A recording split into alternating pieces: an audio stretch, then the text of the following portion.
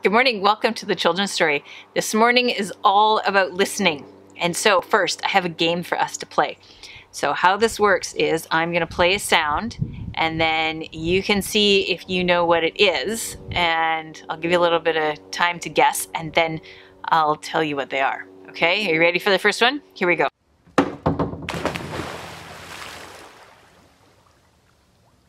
Got a guess? That one is some, someone jumping off a diving board and jumping into the pool. Next one.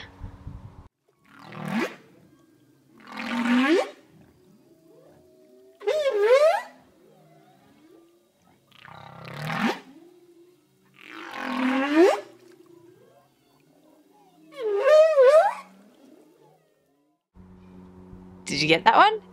That's an animal. Lives in the ocean. Yep, it's a whale. You got it. Next one.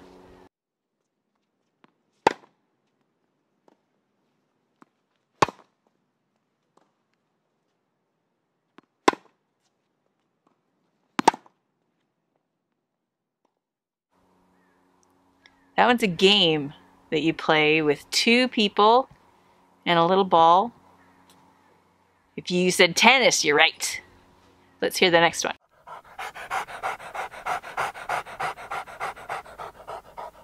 That one might be easier. That's our friend the dog panting because it's hot on a summer day.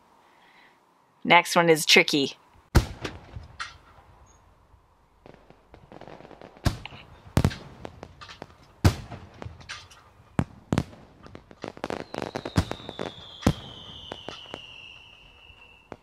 That one's a summer kind of sound too. If you guess fireworks, you're right.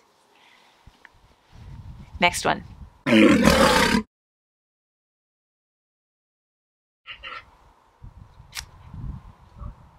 That one's challenging. That one, that one is a big, huge animal, mammal that lives in the ocean and comes out onto the rocks and makes those sounds. That one, have you got a guess? He's got big, huge, long tusks. It's a walrus. Okay, last one.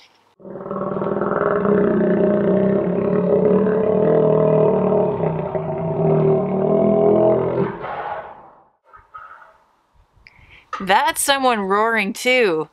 And it might not be who you think. That one's actually an alligator making his roar, not a lion or a tiger or a bear. Well, you used your ears really well and were good listeners. And I want to play for you a story about someone from the Bible named Samuel. And he was a very good listener. So let's let's watch.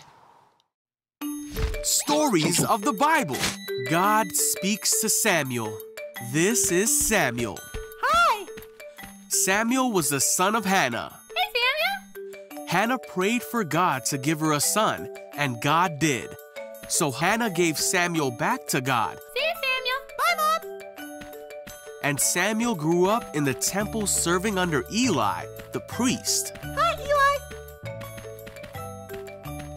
As Samuel grew up, he learned how to serve God from Eli.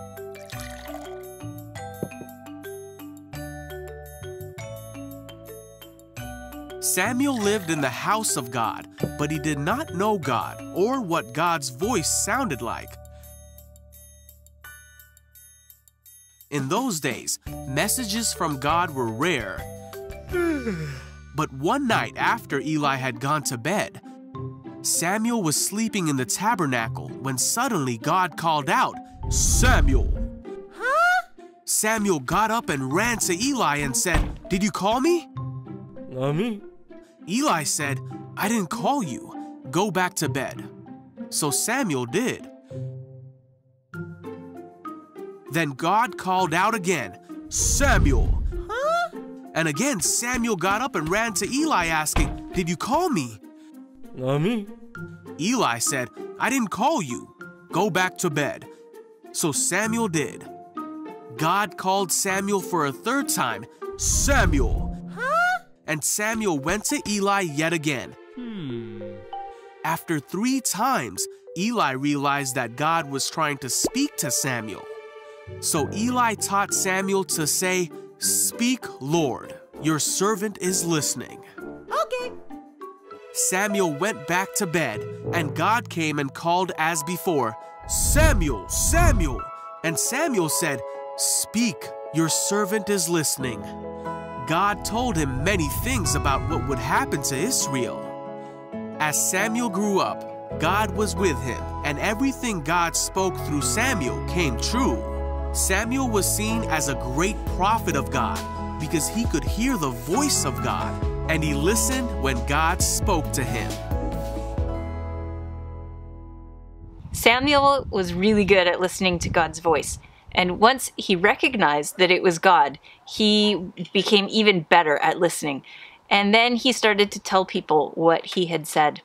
Well, I wonder how you listen for God. That's it's an interesting question, isn't it? Well, I have found some kids who have some great answers to that. So let's have a watch and see what they say. He can speak to you in your heart or in visions or maybe somewhere in the middle of the city. like in your dreams or in different ways. Even when Like- you're quiet by yourself. When you're hurt, like you could feel something in you that's rising up. In the Bible, uh, when we pray. When you're praying, God can answer your prayers in like a different way. So like you pray, then he answers your prayer in your heart. He can speak to you in your dreams when you are afraid of something and you want to and you're afraid, you can just ask him and he can speak through your dreams just to let you know that everything's okay. So we can trust him and then believe in him more. And help us. Stuff like that. The scripture reading today is a story about Jesus talking to his disciples. And Jesus asks them, Who do you say that I am? Well, this is a tricky question because we know that Jesus died on the cross and came back to life again and rose and went to heaven. But this part of God's story hadn't happened yet. And so it was a challenging question for God to ask his disciples. Peter answered, You are the Son of God. Jesus explained that Peter knew the answer to the question and knew that Jesus was God's Son because Peter was really good at listening to God. The scripture doesn't say if he heard God's voice or if he had a dream or if he heard in prayer or if he heard in silence or if he just understood and recognized that Jesus was God himself. There are lots of ways that God can speak to us. Let's finish up in prayer. God, I pray for you to open our ears and hearts to recognize your voice.